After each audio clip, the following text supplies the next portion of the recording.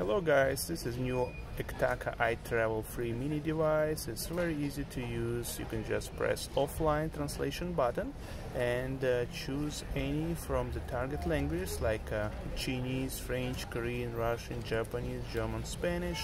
Uh, let's say I will choose Russian and after beep you can press another button. After beep you can say uh, any English uh, uh, phrase or sentence. For example, Hello, how are you? Здравствуй, как дела? Okay, and you can press another button and reply in Russian. Хорошо. Good. Хорошо. All right.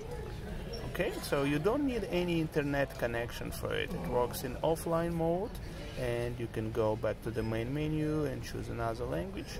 So it's very easy to use and uh, it has a camera. You can use camera if you need uh, to translate something, but you need internet connection for it. So it's really nice, small device, and you can use it for travel uh, to places that have no any internet connection.